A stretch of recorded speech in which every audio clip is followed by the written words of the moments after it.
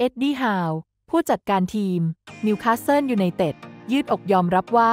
สาลิกาดงนั้น ฟอร์มนอกบ้าน ไม่ค่อยดีเท่าไหร่ ทำให้บุกมาแพ้ ลูตันทาวน์1ต่อ0พร้อมระบุความผิดพลาด ครั้งเดียวทำให้เกิดความเสียหายต่อเนื่อง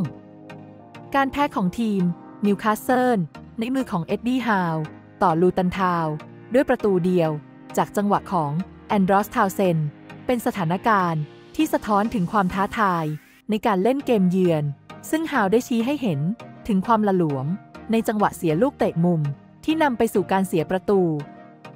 การยอมรับว่าไม่มีข้อแก้ตัวสำหรับทีมของเขา และเน้นย้ำว่า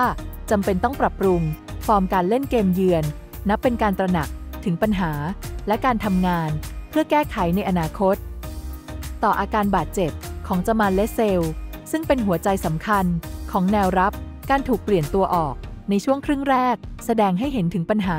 ที่อาจจะส่งผลต่อทีม ในเกมต่อๆไป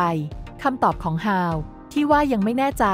เกี่ยวกับสภาพอาการของเลสเซล และต้องรอการประเมินอาการ ยืนยันถึงความจำเป็น ในการมีความระมัดระวัง และการจัดการกับนักเตะที่บาดเจ็บอย่างรอบคอบ